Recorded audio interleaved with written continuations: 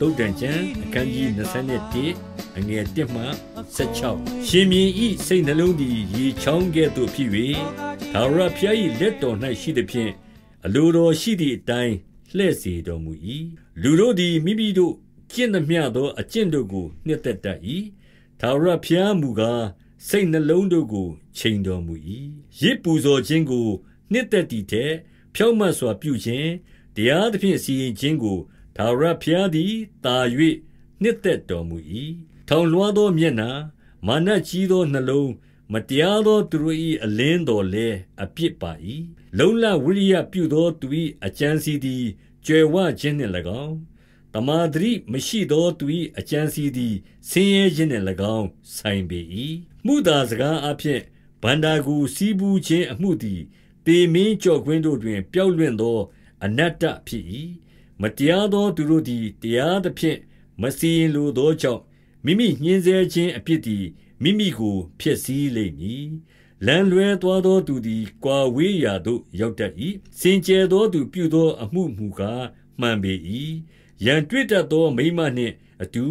လူများသောအိမ်၌နေသည်ထက်အိမ်မိုးပေါ်တောင်ထဲမှနေသောတာ၍ကောင်း၏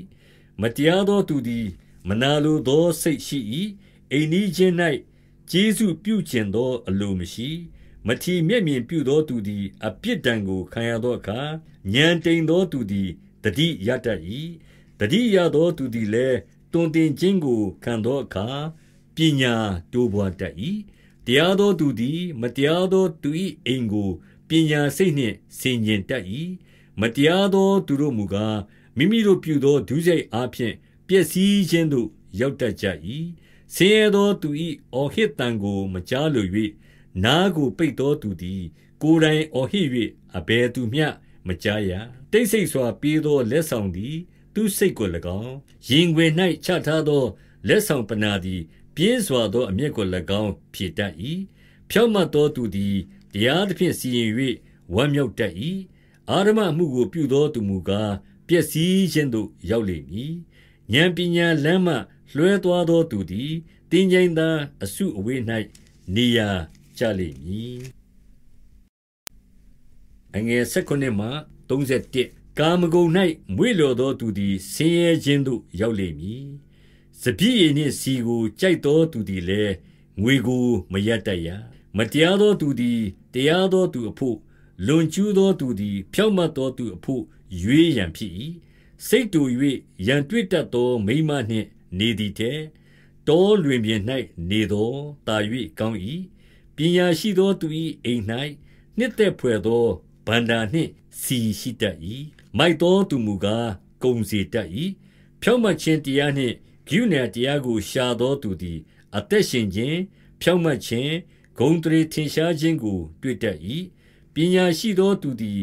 ခိုင်ခန့်သောမြို့ရိုးကိုတက်၍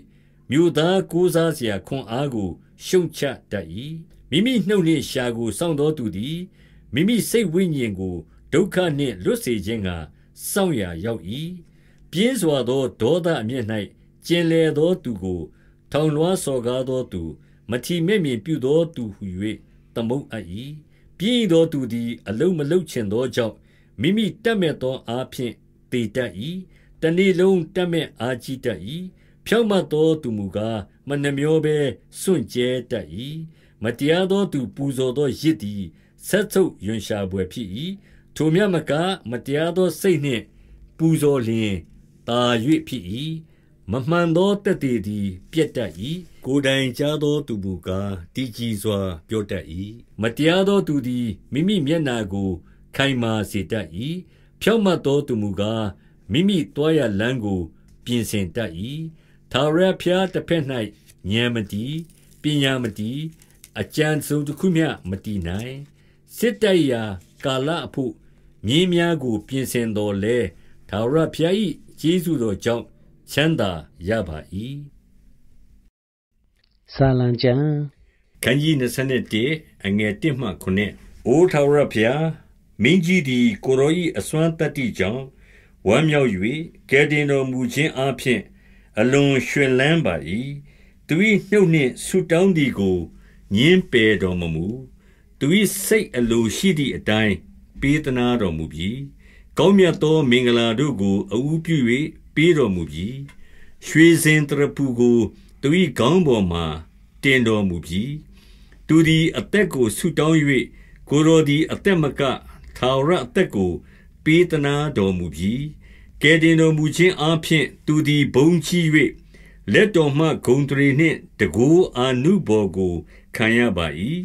ကိုယ်တော်သည် သူ့ကို ထာဝရမင်္ဂလာအရာ၌ခံထား၍မျက်နာတော်အားဖြင့် အလွန်ဝမ်းမြောက်စေတော်မူ၏အကြောင်းမူကား မင်းကြီးသည် ထာဝရဘုရားကို ကိုးစား၍အမြင့်ဆုံးသော ဘုရား၏ဂုဏတော်ကြောင့် တည်ကြည်တတ်ပါ၏အငယ်ရှိမှ 73ကိုရောဤလက်သည်ရန်သူအပေါင်းတို့ကို တွေ့၍ကိုရောကိုမုံသောသူတို့ကိုလက်ရလက်တော်သည် တွေ့တော်မူမည်အမျက်တော်ထွက်သောကာလ၌သူတို့ကိုမိဖို့ကဲ့သို့ ဖြစ်စေတော်မူမည်ဒါဝရဖျားသည်အမျက်တော်အားဖြင့်သူတို့ကိုမျိုးတော်မူ၍မိသည်လည်းလောင်စားပါလိမ့်မည်သူတို့အမျိုးအနွယ်ကိုမြေကြီးမှပယ်ရှင်း၍တန်းစင်မြေးဆက်တို့ကို လူမျိုးတဲက ဖျက်ဆီးတော်မူမည် အကြောင်းမူကား ကိုရောတစ်ဖက်၌မကောင်းသောအကြံကိုကြံစီ၍မကောင်းသော ပရိယေကို ပြုကြပါပြီတို့ရတွင် အကြံမထမြောက်ကြပါ ထိုကြောင့်သူတို့မျက်နှာတစ်ဖက်၌လေးများတော်တို့ကို ရွယ်၍သူတို့ကြောကို လှဲ့စေတော်မူမည်။အိုထာဝရဘုရား ကိုရောဒီအစွမ်းတကူအဖျင်ချီးမြှောက်ခြင်းရှိတော်မူစေတည်း။အကျွန်ုပ်တို့သည်တကူတော်ကို ထောမနာတည်ခြင်း ဆိုကြပါမည်ခရစ်ဝင်ကျမ်းရှမာကုခရစ်ဝင်အခန်းကြီး3ကိုရောကလည်းအလယ်၌မတ်တနေလောဟုလက်တစ်ဖက်သေသောသူအားမိန်တော်မူပြီးမှဥပုံနေ၌ယေရှုပြုအပ်သလောသူအကျိုးကိုဖျက်ဆီးအပ်သလောအသက်ကိုကယ်အပ်သလောတတ်အပ်သလောဟုပရိသတ်တို့အားမေးတော်မူလျှင်ထိုသူတို့သည်တိတ်ဆိတ်စွာနေကြ၏ ထိုအခါ အမျက်တော်နှင့် သူတို့ကို ပတ်လည်ကြည့်ရှု၍သူတို့စိတ်နှလုံးမိုက်သောကြောင့် ဝမ်းနည်းတော်မူခြင်းရှိလျက်၊သင်၏လက်ကို ဆန့်လော့ဟု ထိုသူအား မိန့်တော်မူ၍၊သူသည် မိမိလက်ကို ဆန့်လျှင်၊ထိုလက်သည် လက်တဘက်ကဲ့သို့ ပကတိဖြစ်လေ၏။အချိန်ရသေးပါက ဆာလံ ၅၁၊၈၁၊၁၁၁ နဲ့ ၁၄၁ ဆက်ဖတ်ပါမယ်။ D.L. Moody ရဲ့ တစ်ရက်ကို၁၅မိနစ်ကျမ်းစာစနစ်တကျလေ့လာနည်းစာအုပ်ငယ်ရှိပါတယ်မေးပြောင်းမျောလွင်တာကျွန်တော်ဤလျှောက်ခဲ့ရလားဒုစရိုက်တော့ကမောင်မပြည့်စည်ခြင်းလမ်းပြနော်တွင်နိုင်တယ်မွန်ဘီမနာရီမောင်မိုက်ကိုဆို